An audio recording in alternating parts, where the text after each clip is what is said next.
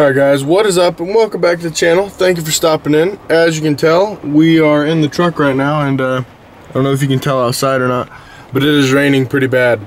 Uh, but we came to the store today and we're going to get some bullets for the gun, some ammunition, and then uh, we're going to go to the gun range because the gun range that I'm the, well it's a gun club, but at the range there's uh, there's like little platforms that we can go underneath so we don't get wet. But either way, I don't know if you guys can see that or not, but we're at the store right now, so we're about to head in. Alright guys, so we got the Freedom packages and I waited a little while and the rain's kind of subsided. As you can see, there's still freaking lakes in the field next to me, but it isn't raining as bad. So uh, we're headed to the range right now and uh, see you guys there. Okay guys, so we are here and like normal, I have the range all to myself which is great. We got a 25 yard hill, 50, and then 100. Uh, I don't know if I'm gonna, I'm definitely not gonna put one at 25, but I may put one at 50, and I'm definitely gonna put a couple at 100. But uh, here's a gun. Here's my little setup. We got several boxes of this cheap Tula ammo. I like that stuff. I've heard that steel's hard on ARs, like steel casings, because that's what those are. But I haven't shown, I haven't seen any signs of like bad wear or anything like that. And then I have just a bunch of paper plates that we're gonna use for targets. But uh, either way, I'm gonna get I'm gonna get things set up and I'll set you guys up and good shoot. So I'm gonna set you guys up on the targets, but we got three paper plates down there at 100 yards, and uh, we also have one clay pigeon. Well, it's part of a clay pigeon that was set up. That was set up. That was down there that I just set up. So I'm just going to load four rounds in to start with and uh, see how it goes. I'm going to throw my ear protection on and I'm going to put you guys down range.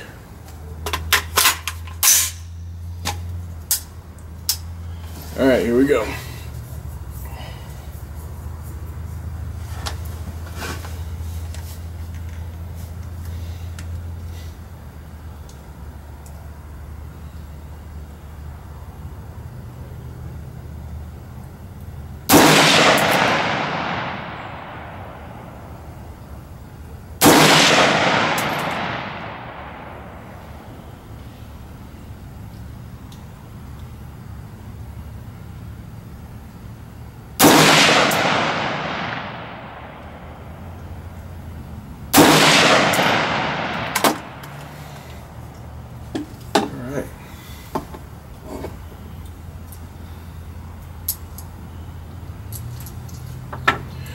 Go ahead and put six in now.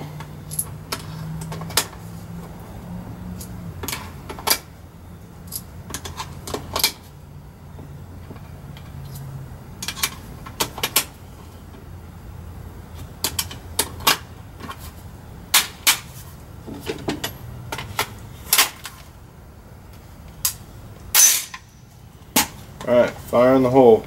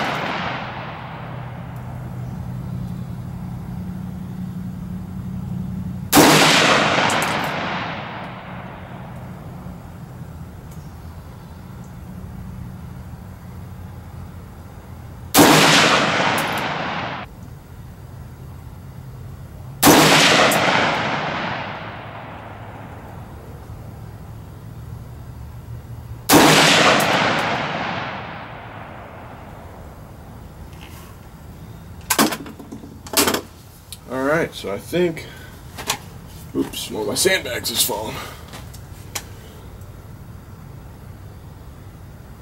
I think we're a little bit close to the bullseye, but we may go check it out.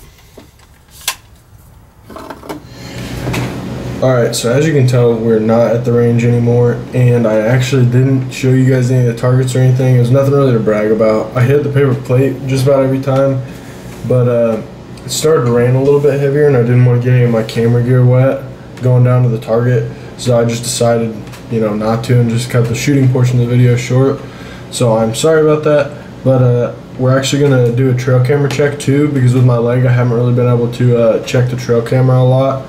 So um, it's been since about December 6th when I checked it last. That was what this is a picture of me walking out of the woods. So uh, we'll go ahead and get into checking this really quick. Okay, so obviously this is a picture of me walking out of the woods. Then there's a little buck, you can see his tine.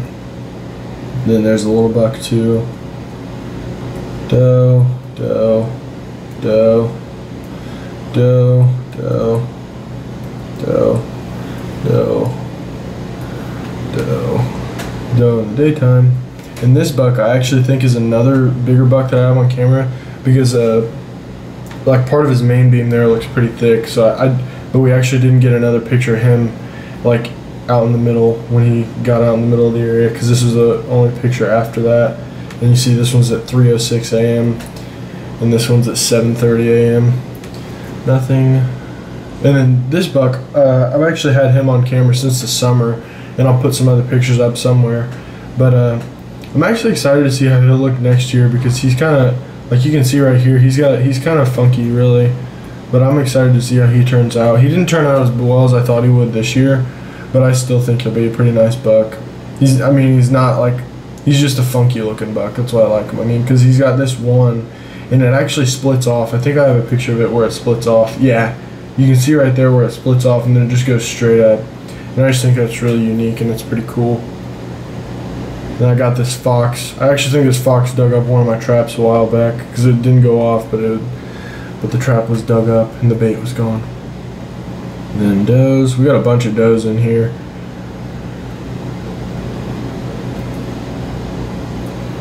And this is December now.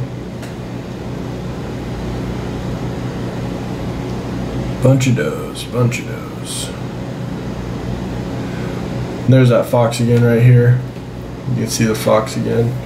I've actually gotten, over the years, I don't know if it's the same fox, but I've gotten a bunch of pictures of foxes here lately. Which, I mean, is cool because they don't, I don't think they really eat deer that much because it's a pretty small animal.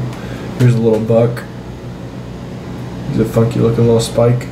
And I actually have a bunch of pictures of this deer too. I think I have him in the summer as well. I don't know if that's the same deer or not. And there's that fox again. And then this buck, I was actually really surprised about this buck. I don't think I had a, I don't think I have any pictures of him from last year, but um, yeah, I mean he looks he looks to be a really nice buck. I would guess like just looking at his brisket and everything, I would guess him like three and a half, four. But he looks like he's a little bit of an older buck, and that was uh, the first or not the first. That was January fifth when I got that one, so that looks like a pretty looks like it'll be a pretty solid deer. There's that fox again. A couple does, does, does, and right in here is where we got a bunch of does.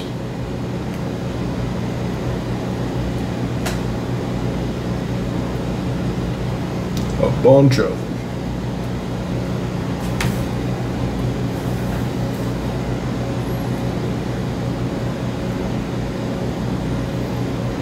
And then this was actually, I, I was actually surprised about this because this, well, not really surprised, but I was kind of bummed out about it because this was the last day of the season. I believe it was the last day. It was either the, either the fifth or the sixth was the last day of season in Indiana. I'd have to check, but I'm not 100% sure.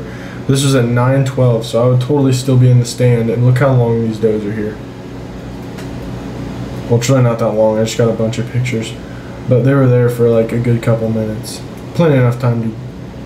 Then here's an, here's another couple bucks. There's another little buck. I don't think I have him on camera before just then. There's one that I know I had on camera. He honestly looks like he may be all right next year too. I mean, he's he's, he's nothing special right now, but he, a, a year can make a whole lot of difference for a deer. Get through these last couple pictures. There's me. There's me again. There's a doe. But yeah, I mean, I'm I'm really happy with with what I have, what what deer are still in the area now. But uh, I'm I'm looking forward to next year. I think I need to plant some sort of food source back in the woods because I don't think. And there's another picture of that buck, like I was telling you guys about. But I do think I need to put another uh, food source back there, other than just uh, just what I had, because I just I don't think that was enough to keep them on the property, truthfully. But uh, who knows? Hopefully next year I have a little bit better luck than I did this year, and hopefully next year I don't get hurt and I don't have to worry about this. But uh, either way, that's gonna do it for this video. If you guys liked it, give it a big thumbs up. That would really help me out, and uh, hopefully I can get back with another shooting video sometime soon. But either way, I will see you guys later.